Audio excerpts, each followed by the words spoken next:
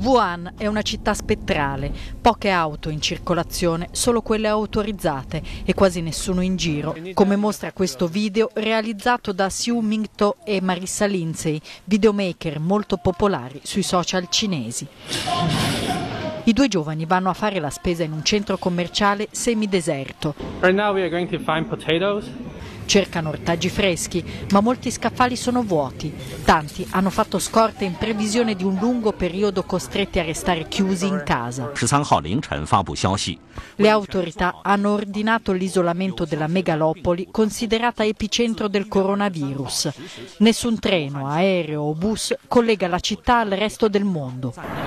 La municipalità conta 11 milioni e 800 mila persone, è più affollata del Cairo, Seul e Città del Messico.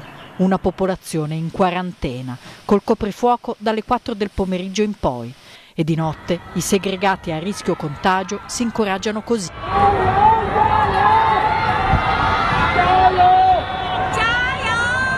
Forza Wuhan, urlano.